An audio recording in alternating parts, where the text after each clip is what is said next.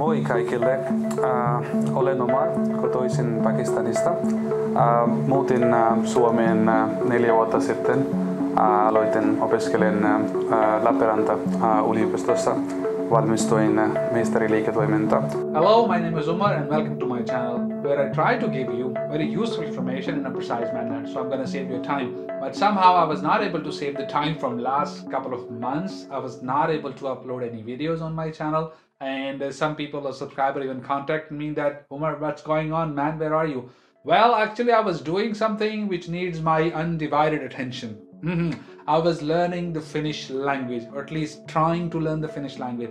I was in an integration course and where I need to learn the Finnish language six hours a day, five days a week, and that was going quite well. And that is why today I'm going to tell you how you can learn the language and how good I have learned in that one year or so. Obviously, my level is not that great, but still I can speak the language now. So, not minä puhun suomea. If I can speak, then you can also speak. So anybody can speak. And I'm going to talk about the misconception and the myths around the Finnish language. So maybe you can get around with it, and then you might get some help from it.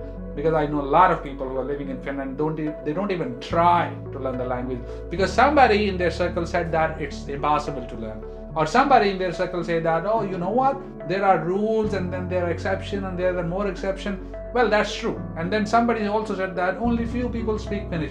I agree that too. All of things are true. But if somebody says that this language you cannot learn then that is a big big no and i'm going to tell you how much i learned in last one year and how good i can speak now because i'm going to show you a video where i spoke only finnish for five minutes and that's not in my home. I speak that in a webinar. So you can get an idea how much effort you need to do and how much you can learn. So i'm going to cut it short here and we go straight to the point and i'm going to show you what i have done last week. There was a forum and it was organized by the collaboration of Lappeenranta University and Lab University and University of uh, and uh, uh, City of Helsinki, uh, City of Lappeenranta. So I was there and I need to present my perspective, how I find uh, the work life here in Finland and the work life in my home country, which is Pakistan. So what are the differences? What are the you know commonalities? How I find it and how I see my future. So basically, the theme of that uh, uh, the theme of that forum was uh, Future Forum, Tulevaisuusfoorumi in in uh, Finland. So I was sent by my school, the language school is like uh, Simon Ammattiopisto, Sampo. So I will leave the links here so you can read more about it. So I tried to present my view. It was like three to four minutes of speech, and you're gonna see that. And I will keep jumping in, you know. And I'm gonna put the subtitles for all those uh, subscribers of mine who do not know uh, Finnish language, so they can read it in English, so they can get an idea. And uh, the rest you will see, and then you tell me in the comments how good I speak the Finnish, so you can also get the idea from that. This is like example, as we say in English, the proof of uh, pudding is in eating, so you can see. Seuraavaksi omia kokemuksiaan kertoo Umar Dras. Lausuinkohan nimesi oikein? Oikein, oikein. On. Selvä. Kiitos. Moi kaikille. Äh, olen Omar, kotoisin Pakistanista. Äh, muutin äh, Suomeen neljä vuotta sitten. Aloitin opiskelen Lappeenranta yliopistossa. Valmistuin meistariliiketoiminta. Ennen kuin valmistuin meistari MBA Pakistanista, sitten aloittaa etsitään työpaikkaa. Sitten meillä on yksi ongelma. Äh, ongelma on suomen kieli, sitten minä aloitan opiskelen suomen kieli. Äh, pakistanilaiset tai suomalaiset on tosi eri. Meillä on pari äh, erilaisia asioita. Mutta tänään äh, minä haluan puhua vain työelämästä äh, eri, mitä eri Pakistanista, mitä eri Suom- Suomessa. Äh, Meillä on äh, kuusi äh, äh, jos sinä sinulla on minun kanssa, ymmärrät kaikki, mitä minä haluan äh, kertoa. Yksi piste on äh, työn ajoitus ja työ aikataulu, työjärjestelmä. Se on tosi hyvin Suomessa, mutta Pakistanissa on tosi äh, äh, ei, ei hyvin, koska Pakistanista äh, työ alkaa äh, joka aamu kello 9 tai kello 10. Sitten työ loppuu kello 5 tai kello 7, mutta se on riippuu, se riippuu, sen on tojo, se riippuu, sen on, äh, sen on äh, työtuppi, se riippuu äh, sinun pomosi. Jos pomosi on hyvin, sinun tojo on hyvin, sinun tojo elämä on hyvin. Jos pomosi ei ole hyvin, sinun työelämästä ei ole hyvin. Äh, sitten äh, uusi ongelma, jos äh, pomosi on, istuu tai tekee töitä toimistossa, sinä et mene kotiin. Jos pomo lähti kotiin, sinä lähti kotiin. Se on tosi iso ero. Suomessa minä, minulla ei, on, ei ole tämä ongelmia. Suomessa kaikki, menee, kaikki tulevat ja menevät aikaisemmin. Se on tosi, tosi hyvä juttu. Minä pidän paljon tämä asia. Sitten toinen on työmarkkinat. Pakistanissa on iso iso maa kuin Suomessa. Meillä on iso työ. Sitten jos haluat etsiä työtä, sinä, sinä etsii helpompi. Mutta firmoja ei arvostettu työntekijöitä paljon. Ne tulevat helpompi ja menevät pois helpompi. Suomessa se on ongelma, jos sinä haluat etsiä hyvää työpaikkaa, mutta jos sinä loit, loit sen hyvin työpaikkaa, sinä ei menevät pois helposti, koska meillä on sopimukset, kaikki on siellä, se on turvallista. Mutta Pakistanista ei ole, se on, se on toinen piste. Sitten yksi asia on samassa, sama molempia maata, eikä Pakistanissa tai Suomessa. Jos haluat työtä tai hyvää työpaikkaa, hyvää ammatti, sin, sinun on pakko ää, vahvempi viiteitä tai yhteydet. Jos sinä osaa joku ihmisiä, ihmisiä firmassa, se menee hyvin. Sinä etsin tujus sujuvasti, se on ok. Okay, the funny part here, before uh, I was about to start, the presenter or the organizer of the event, she was a little concerned that whether I will get nervous and all that in front of camera. So she was telling me that uh, you look this side, the camera is here, and you know, be careful, etc., etc. And I was talking to her that, hey, lady, don't you worry about the camera. I'm not worried about that. I'm worried about speaking the Finnish language for five, six minutes, five, six minutes consecutively. Because uh, camera, I don't have the camera fear and stuff like that. But I don't know how it, it will go. So how it go and how I speak, you let me know in the comment, and then I can also share my secret recipe, how you can learn that and what I've done. Sitten toinen asia, kolmas asia on työkaverit. Se on tosi eri.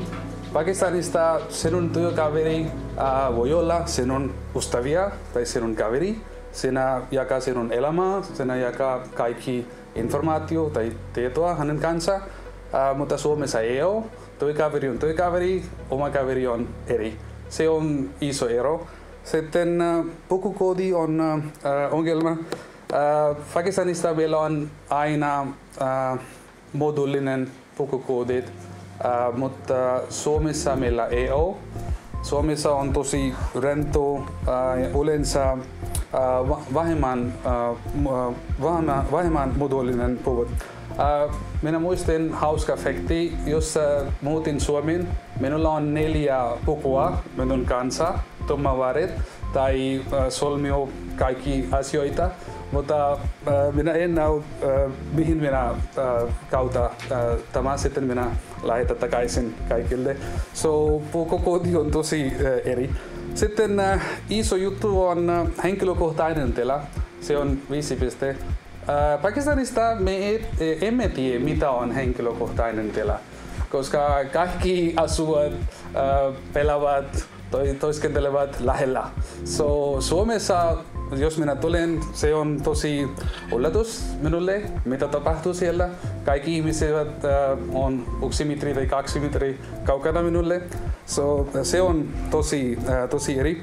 Uh, uh, toinen asia, uh, uh, henkilökohtainen, jos uh, sinä uh, haluat toimia Pakistanissa, sinä voi sanoa uh, herra ja ruoa, sinä et käytä etunimi, se on uh, toikea, se on ei normaalisti, mutta Suomessa sinä aina käytä etunimi, sinä en käytä uh, Mr. ja Mrs. Uh, se on eri. Uh, sitten viimeinen, uh, viimeinen asia, uh, se on hauska, mutta se on se kieli ja viestinä. Pakistanilainen, uh, uh, uh, puhi, uh, pakistanilainen puhuu paljon. Uh, uh, ne ovat puhelias, ne puhuu paljon, käyttävät paljon pal- paljon sanoja, selitä paljon, kirjoita paljon sähköposti, mutta Suomessa on vain vastakohta. Sitten jos on Pakistanissa on työelämässä, jos sinä puhut englanti, se on tosi hyvin, se on iso, iso eto, koska meillä on britannialainen äh, maa, äh, historia. So, kaikki ihmisiä ajattelevat, sinä osaa paljon, sinä osaa kaikki, äh, sitten he kuuntelevat sinun hiljaisesti. Mutta Suomessa, äh, jos sinä puhuu hyvin englanniksi, se on ok, se on normaalisti. Englanniksi ei ole iso juttu, se on vain, äh, vain äh. Sitten minä ymmärrän tämä, jos minä valmistuin äh, kouluun, sitten äh, jos minä haluan äh, huoa työpaikkaa ja huoa ammatti Suomessa, on pakko äh, tietää, puhua, ymmärtää äh, suomen kieli. Äh, Sitten minä aloitan tämä. Nyt minä opin suomen kieli, suomen kulttuuri tai integraatio in Sampossa, on kielikoulutus. Toivottavasti ensi, ensi vuonna on eri sitten tämä vuonna, mutta se on äh, 5 tai 6 pisteitä minulla on, mutta min, äh, minä aloittaa äh, osa-aikainen työ äh, yksi se firmoja, Lasila ja Tekonia. Se menee hyvin. Kaikki äh, pitävät minua, minä opiskelen uusia asioita siellä, mutta yksi ongelma on kieli. Äh, äh, minä yritän opiskelen ja harjoitella äh, kieli joka päivä. Äh, sitten äh, äh, Eh, tulevaisuus on tuli, äh, tosi valoisia ehkä mä luulen. Kaikki. Eh, As you have seen, the purpose of this video is just to encourage people who are coming from, uh, you know, maybe Africa or Asia, and they are here in Europe, and they find it find themselves at a disadvantage because they cannot speak the language. That is very true, but you need to work it out a little bit. Comparing yourself with the European candidates, they always have an edge on you because they might know another European language. So, as an employer, when uh, the selection is made, they always get an uh, advantage over you because they can speak either maybe German, they can even speak Dutch, or they can speak any Scandinavian language, for example, Danish, or they can speak Swedish. So obviously, you are somebody who is coming from Africa. You might spoke five languages or six languages, but you do not spoke any relevant languages in that area. Similarly, people coming from South Asia, they have the same problem. They might speak two, three, four, even five languages, but that these languages are not spoken here. So we have to have to learn the language of the land. Apart from that, I have another thinking. It does not matter that you're learning a language only for job or something.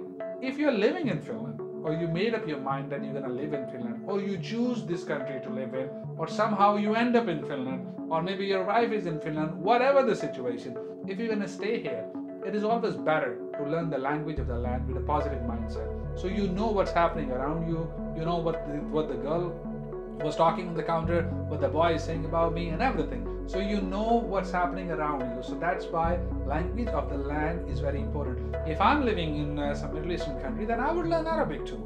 And if I'm living in some other Asian country, then I would learn the language of the land. So when you are thinking about Finnish, it is just a language as of any other language. Yes, I know it's difficult, but if I can do it, you can do it, and anybody can do it. All you need to do, you need to put the time and effort uh, in a right way, and then you can reach to some optimal level.